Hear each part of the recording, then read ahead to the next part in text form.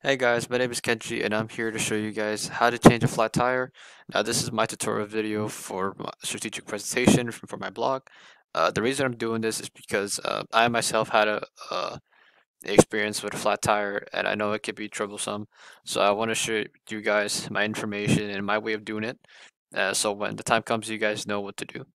So with that being said, uh, make sure to check me out on my uh, blog post site here at swiftshifts.wordpress.com.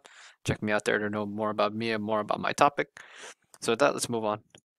What, what are you going to need? You're going to need a spare tire, car jack, lug wrench, wheel chokes, if possible, uh, open space, manpower, and some common sense. So why do we get uh, flat tires? Uh, mainly because of nails, potholes, and weather. Nails because either construction sites or careless people leaving sharp objects on the floor and therefore your tire could get pierced. Potholes, driving over a pothole very fast can pierce or slash the tires of your car. And the weather, because of cold weather, the the the tire shrinks, uh, and making uh, losing air. And in hot weather, because the rubber and pavement do friction, um, it's slowly shaving off the tire, and you can lose air pressure like that. So let's, let's move on. Uh, so what you're gonna do to change out your flat tire is first you're gonna put on your hazard lights.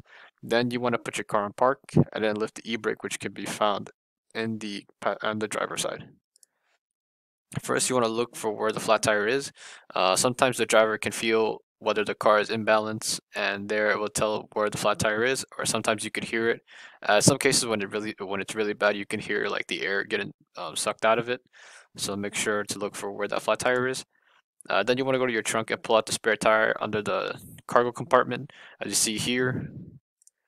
Uh, then you want to slip in the wheel chokes or a stone uh, or a rock to prevent the car from moving. Uh, so if you don't have a wheel choke at your disposal, a stone or a rock would, would just do. Uh, then you want to loosen the lug nuts but not take it out completely using the star method. Uh, the reason you use the star method is because um, A, uh, you, you, don't forget which one you're doing. like if you go in a circle, you'll forget which one you loosened loosened up. And second, it's because um, it will make the wheel come out much easier and cleaner.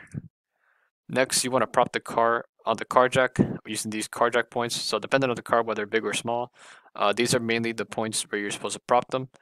Uh, just make sure uh, you put it on the right spot because if you don't, uh, the car can slip off the car jack, and if you're under it, it can literally fall on top of you. So be careful with that. Uh, then you want to fully loosen the lug nuts with the lug nut wrench. And I stress this very much. Don't lose the lug nuts because those are going to be very vital for when you put on your spare tire.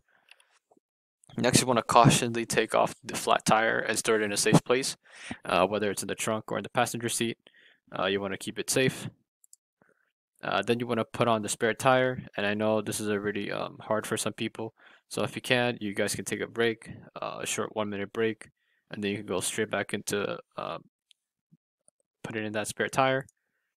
Uh, then you want to hand tighten the, the tire first. first, you want to hand tighten the lug nuts. And then uh, with that, you want to do the lug wrench, uh, also using the star method, but not too tight. Um, you want to just put it as uh, where you're able to wiggle it, and then you want to put a bit more, but not not too tight. And then you're going to slowly lower the car jack until the car is on ground level. Then you can remove the car jack. And then you want to make sure that that flat tire either gets patched or replaced. I say replaced uh, because when a, a, flat tire is patched, uh, if you go over another uh, pothole or you hit another flat or another nail, uh, the patch will seem to fall off. So I, I would say uh, replace it, whether with Michelin or Bridgestone all season, all weather tires. It's the best. And yeah, I'm going to leave you guys here with some tips to prevent flat tires. Uh, first, you want to check your tire pressure gauge on your dashboard. Uh, next, you want to sometimes give it a few kicks, uh, all your four wheels to make sure that the car is balanced. Uh, next, you want to avoid road hazards. What I mean by this is not speeding through potholes. You know, drive carefully and try to avoid construction sites. Uh, next is regular maintenance of your tires. So tires, dependent on the car and many other factors, uh, tires usually uh, should be changed every 10 years. However, on the fifth year mark, uh, you may want to have it checked by a mechanic or professional. And if they say that you should replace the tires because of its, uh, you know, uh, fault or, or or its um, problems that it has, uh, I say take their advice and change it. And yeah, that's it. Uh, thank you guys for watching my video. Stay safe while you guys are out there, and be sure to give me a like and a follow, share this, and visit my site.